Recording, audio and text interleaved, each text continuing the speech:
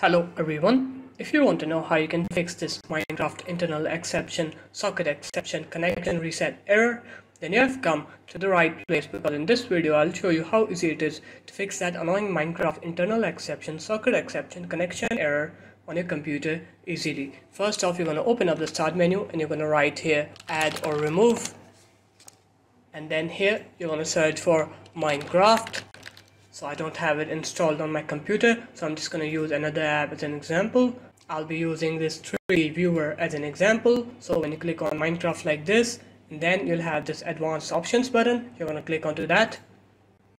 And here what you're going to do is you're going to scroll down until you find these three buttons. So first what you're going to do is you're going to click onto repair on here.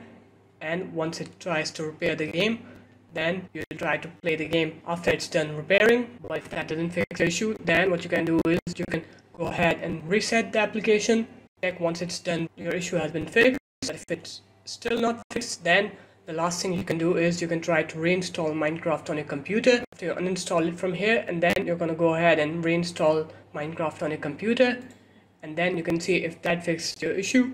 But if it didn't, then the last thing you can do is you can try to set the render distance from 32 chunks to 12 chunks. So just go ahead, open up your Minecraft settings, go into your video settings and there will be a render distance option. You're going to set that render distance to 12 chunks. So there it is guys, that's how easy it is to fix Minecraft internal exception, socket exception, connection reset error. If you guys found this video helpful, make sure to leave a like, comment and subscribe to the channel and I will see you my next video. Peace.